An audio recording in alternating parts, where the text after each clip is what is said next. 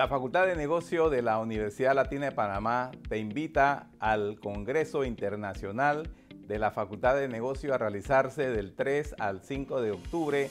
en la Universidad Latina de Panamá. En este congreso tendremos la oportunidad de escuchar conferencistas de talla internacional que vendrán a exponer sobre temas de finanzas, temas de negocios, temas de logística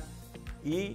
otros temas relacionados con el mercado productivo panameño.